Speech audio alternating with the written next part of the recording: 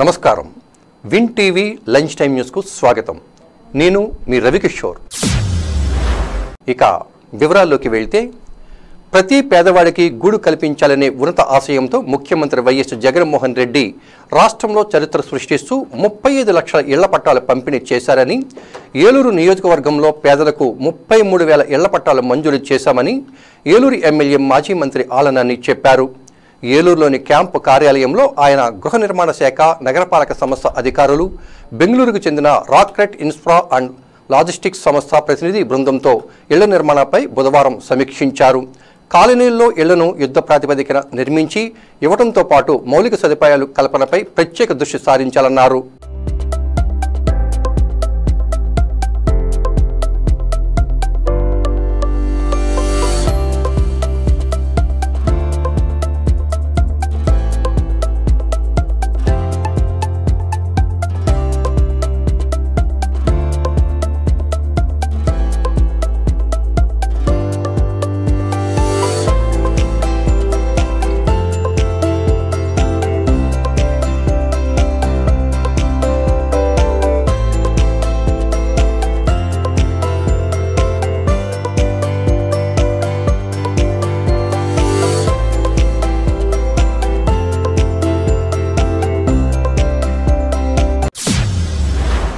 Madiga reservation పోరాట సమితి ఏలూరు జిల్లా కలెక్టరేట్ ముందు పదహారో రోజుకు నిరసన కార్యక్రమాలు చేరిన ఈ కార్యక్రమంలో ఎస్ కోఆర్డినేటర్ కాశీకృష్ణ కందుల రమేష్ ఆధ్వర్యంలో పెద్ద ఎత్తున ఆందోళన కార్యక్రమం చేపట్టడం జరిగింది. సిపిఎం కార్యదర్శి బి సోమయ్య సిపిఐ కార్యదర్శి వెంకటేశ్వరరావు ఎంఆర్పిఎస్ చేస్తున్న డిమాండ్ సామాజిక న్యాయమని సిపిఎం సిపిఐ పూర్తి మద్దతు పార్లమెంట్లో కూడా వర్గీకరణ అంశం లేవనెత్తుతామని భవిష్యత్తులో కూడా ఎంఆర్పిఎస్ అండగా ఉంటామని తెలియజేశారు. కార్యక్రమంలో రాచేటి మాతయ్య సొంగ మధు చాట్ల సాయిబాబా బయ్యారపు కుటుంబరావు అయినపర్తి మాధవరావు నమ్మిన లక్ష్మి దేవరపల్లి రత్నబాబు తదితరులు పాల్గొన్నారు.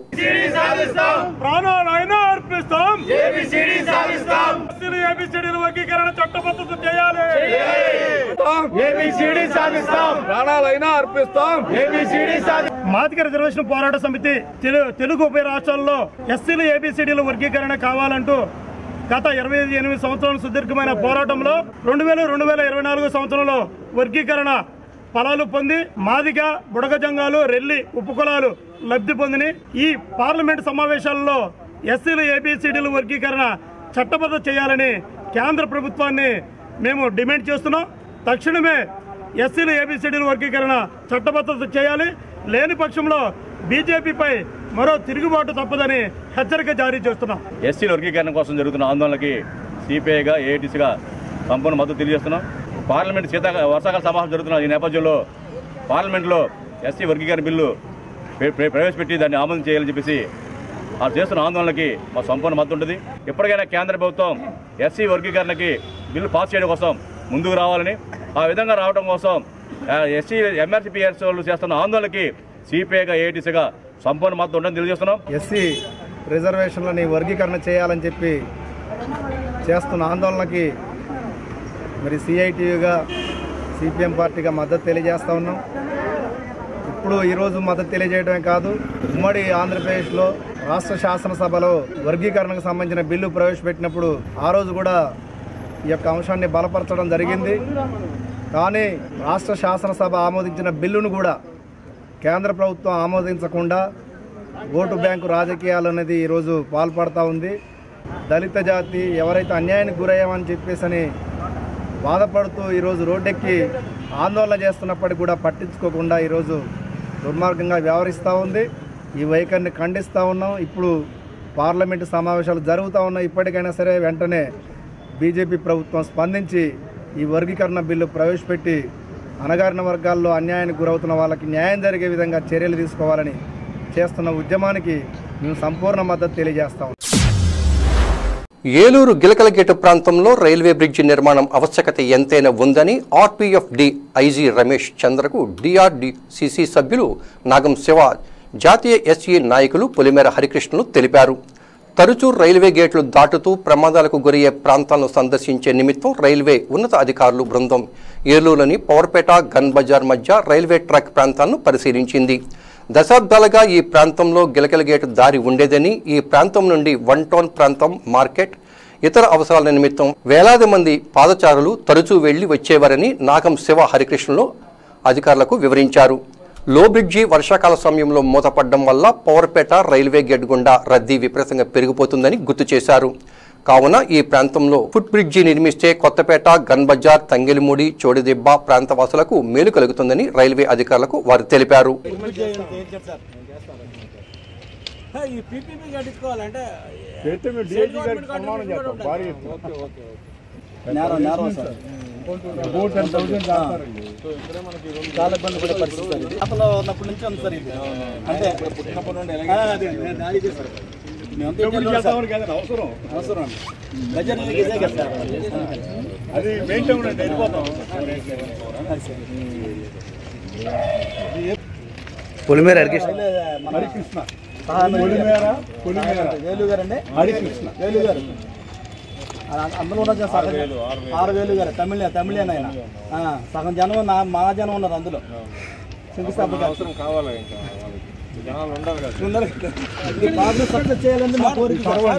ఈజీ సార్ ఇది. అప్లికేషన్ చేసి ఆ, ఇచ్చేస్తారు. ఈజీ సార్ ఇది. ఇది చాలా ఈజీ. ఇంప్లిమెంట్ చేయాలి చేయించారు సార్ ఈ పీపీపీ కట్టించుకోవాలంటే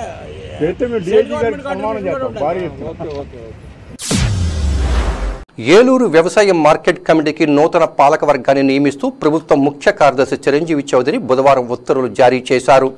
గౌరవ అధ్యక్షునిగా ఎమ్మెల్యే ఆలనాని అధ్యక్షునిగా నిరుతు చిరంజీవులు ఉపాధ్యక్షునిగా కంచెర వెంకట నాగరామకృష్ణారావు సభ్యులుగా పదిహేడు మందిని నియమించారు. వీరు ఈ ఏడాది పాటు పదవిలో ఉంటారని ప్రభుత్వ ముఖ్య కార్యదర్శి చిరంజీవి చౌదరి పేర్కొన్నారు.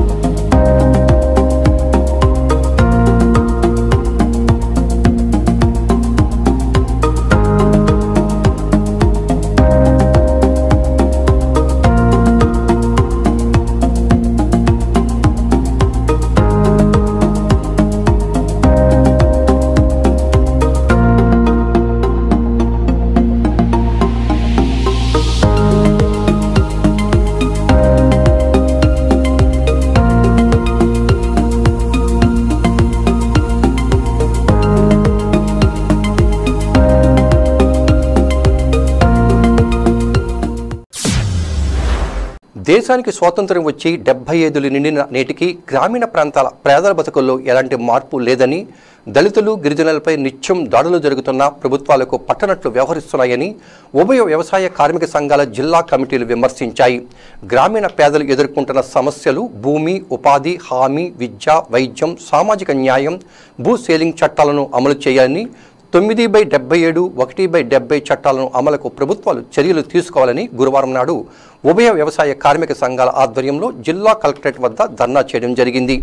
ఈ సందర్భంగా ఆంధ్రప్రదేశ్ వ్యవసాయ కార్మిక సంఘం జిల్లా కార్యదర్శి ఏ రవి బీకేఎంఏ జిల్లా కార్యదర్శి బండి వెంకటేశ్వరరావు సిఐటియు జిల్లా అధ్యక్షులు బి సోమయ్య మాట్లాడుతూ డెబ్బై ఐదు ఏళ్ళ స్వాతంత్ర్య భారతావనిలో మూడు పూట్ల తిండి లేక సుమారు డెబ్బై కోట్ల మంది పేదలు పస్తులతో జీవిస్తున్నారని తెలిపారు.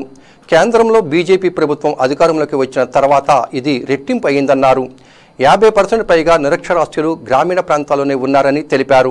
అరవై శాతం మందికి సెంటు భూమి కూడా లేదన్నారు. సొంత ఇల్లు ఇంటి స్థలాలు లేక ముప్పై శాతం మంది పేదలు నిర్భాగ్యులుగా ఉన్నారని ఆవేదన వ్యక్తం చేశారు. సురక్షితమైన మంచినీరు అందక అనారోగ్యాలతో సుమారు డెబ్బై శాతం మంది ఈ దేశంలో బాధపడుతున్నారని నేటికి గ్రామీణ ప్రాంతాల్లో నాణ్యమైన విద్య వైద్యం లేక ఎనభై ఆరు శాతం మంది పేదలు నిరక్షరాస్తులుగాను మారారన్నారు. ఈ ధర్నాకు పేదలు వ్యవసాయ కార్మికులు ఉపాధి కూలీలు దళితులు గిరిజనులు హాజరయ్యారు.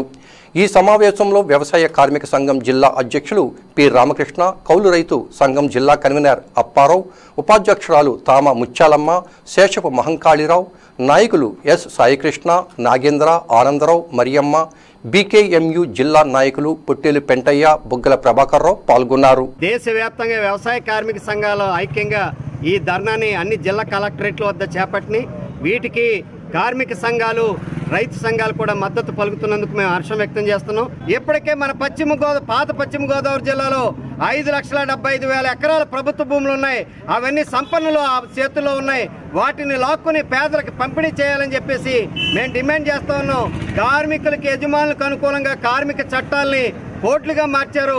వాటిని రద్దు చేసి కార్మికుల హక్కుల రక్షణ కల్పించాలని రైతులకు గిట్టుబాటు ధర చేసేటువంటి చట్టాన్ని చేయాలని కౌలు రైతులకు గుర్తింపు కార్డు ఇవ్వాలని ఈ సమస్యలన్నింటినీ ప్రభుత్వాలు పరిష్కరించాలని చెప్పేసి ఆగస్టు నెలంతా కూడా ఓ పక్కన స్వాతంత్రోద్యమంతో పాటు ఈ సమస్యలను కూడా దృష్టికి తెచ్చేందుకు ఈ ఉద్యమాన్ని మేము చేపట్టామని చెప్పి తెలియజేస్తాం. గత ఏడాది పోల్చుకుంటే ఇరవై ఐదు వేల కోట్ల రూపాయలు నిధులు కోతపెట్టి బడ్జెట్లో ఆ పథకాన్ని నిర్వీర్యం చేస్తున్నాడు. అలా కాకుండా ఆ పథకాన్ని సక్రమంగా అమలు చేయాలని ఖచ్చితంగా ప్రతి కుటుంబానికి రెండు వందల పన్నెండు నెలల సంవత్సరం కల్పించి సుప్రీంకోర్టు ఆదేశాల ప్రకారం కనీస వేతనం రోజు కూలి ఆరు వందల డిమాండ్ చేస్తున్నాం. అలాగే మన రాష్ట్రంలో కోనేరు రంగారావు బుక్ సిఫార్సు అమలు చేసి అన్యాయక్రాంతి అసైన్ భూముల్ని ఎవరైతే గతంలో లబ్ధిదారులు ఉన్నారో ఆ లబ్ధిదారులకి ఆ భూముల్ని అప్పగించాలని చెప్పేసి డిమాండ్ చేస్తున్నాం. అదేవిధంగా భూ సమస్యలు పరిష్కారం చేయాలని అలాగే గ్రామీణ ప్రాంతాల్లో పేదలకి పాఠశాల విద్య విద్యని దూరం చేయకుండా పాఠశాల విలీనాన్ని ఆపాలని చెప్పేసి డిమాండ్ చేస్తున్నాం. ఈ విధంగా చేయని పక్షంలో రానున్న కాలంలో ఉభయ వ్యవసాయ కార్మిక సంఘాలు రైతు సంఘాల కార్మిక సంఘాలు కూడా రాష్ట్ర ప్రభుత్వం మీద కేంద్ర ప్రభుత్వం మీద పెద్ద ఎత్తున ఉద్యమం చేస్తారని హెచ్చరిక చేస్తున్నాం.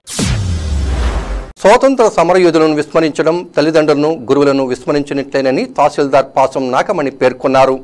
ఆజికా అమృత మహోత్సవ కార్యక్రమంలో ఎన్ఆర్ఈజీఎస్ కార్యాలయ ఆవరణలో వైఎస్ఆర్సీపీ బీసీసీఎల్ నేత మారిశెట్టి శ్రీనివాస్ ఆధ్వర్యంలో నిర్వహించారు. ప్రాంగణంలోని స్వాతంత్ర సమరయోధులు స్తూపానికి ఎంపీడీఓ కేఆర్ఎస్ కృష్ణప్రసాద్తో కలిసి పూలమాలలు వేసి నివాళులు అర్పించారు. స్వాతంత్ర్యం సిద్ధించి ఇరవై ఐదు సంవత్సరాలు పూర్తి చేసుకున్న నేపథ్యంలో పంతొమ్మిది వందల డెబ్బై రెండులో అప్పటి ప్రభుత్వం స్తూపాన్ని నెలకొల్పిందని డెబ్బై ఐదు సంవత్సరాలు స్వాతంత్ర్యం భారతావని పూర్తి చేసుకున్న సమయంలో మహనీయులను స్మరించుకోవడం దేశ పౌరుడిగా మన లక్ష్యం అని ఎంపీడీఓ అన్నారు. భారత మాతాకి జై అంటూ ఈ సందర్భంగా జెడ్పీ బాలికోన్నత పాఠశాల విద్యార్థులు నినాదాలు చేశారు. పంచాయతీరాజ్ మినిస్ట్రీ రియల్ డివిజనల్ అధ్యక్షుడు Kakalaparri Swamy MEO J Suresh Babu housing శాఖ సీతయ్య ఈఓ ఆర్డీకే జ్యోతి ఏపీఓకే నాగేశ్వరరావు సూపరింటెండెంట్ విజయ్ కుమార్ వైఎస్ఆర్సీపీ నాయకులు నిక్కర్ నాగేశ్వరరావు కాళహస్తి రమణ కొల్లూరు యశ్వంత్ ఎస్ శివాజీ గణేష్ కట్టా రాంబాబు మోడేపల్లి రాంబాబు పెద్దలు నాగార్జున తదితరులు పాల్గొన్నారు. బాధ్యతగా అందరం వెలగాలని చెప్పి కోరుకుంటూ నాకు ఈ అవకాశం సందర్భంగా మనకి ఈ స్తూపం అనేది పంతొమ్మిది వందల డెబ్బై రెండులో ఇక్కడ ప్రతిష్ఠించడం జరిగింది. ఆనాడు రాజస్థాన్ నుంచి ప్రత్యేకంగా శిలాఫలకం తయారు తీసుకొచ్చి ఇక్కడ ప్రతిష్ఠించడం జరిగింది. ఇప్పుడు ఈ శిలాఫలకం ప్రతిష్ఠించి ఇప్పటికీ యాభై ఏళ్ళు నిండుతుంది. మొత్తం టోటల్గా ఈ యొక్క స్వాతంత్రం వచ్చిన తర్వాత డెబ్బై ఐదు సంవత్సరం. వాళ్ళందరూ త్యాగాలు ఫలితాలు ఈరోజు మనందరం ఇంత హ్యాపీగా ఇక్కడ జీవిస్తున్నాం. ఇంత స్వేచ్ఛగా స్వతంత్రంగా ఇలా మాట్లాడగలుగుతూ తిరగలుగుతూ తిరగలుగుతూ అన్ని స్వతంత్ర భావాన్ని అనుభవిస్తూ మనం ఇలా జీవించడం ఉండడానికి కారణం మన పెద్దలు చేసిన ఎన్నో త్యాగాలు. వాటిని గుర్తుగా స్వాతంత్ర వచ్చిన సందర్భంగా ఇరవై ఐదు సంవత్సరాలకి అప్పటి మన మన మండలంలో ఇద్దరు స్వాతంత్ర సమయ యోధుల ఆధ్వర్యంలో ఇంత చక్కటి శిలాఫలకాన్ని ఏర్పాటు చేసి మనకి గుర్తుల్ని కొన్ని జ్ఞాపకాలని మనకి ఇలాగా ఇవ్వడం జరిగింది. ఇప్పుడు యాభై సంవత్సరాల తర్వాత కూడా మనం దీన్ని గుర్తు చేసుకున్నామంటే దీన్ని కాదు దీని వెనక ఉన్న మన స్వాతంత్ర సమరయోధుల యొక్క త్యాగాలు మన నాయకుల యొక్క గొప్పదనాలు అన్నింటినీ మనం అందరం ఒకసారి మరోసారి స్మరించుకుంటూ ఈ రాబోయే ఆగస్టు ఫిఫ్టీన్త్ నాటికి ఆ, అమృతోత్సవాల్లో భాగంగా మీరందరూ కూడా మనం ప్రతి ఇంటి మీద కూడా మన త్రివర్ణ పతాకాన్ని ఎగరవేస్తూ మన యొక్క స్వాతంత్ర యొక్క గొప్పదనాన్ని మన ప్రజాస్వామ్య దేశ విలువల్ని అందరిని మరీ మరీ గుర్తు చేసుకుంటూ ఈ వార్తలు ఇంతటితో సమాప్తం. తిరిగి నెక్స్ట్ బులెటిన్లో కలుసుకుందాం. అంతవరకు సెలవు నమస్కారం.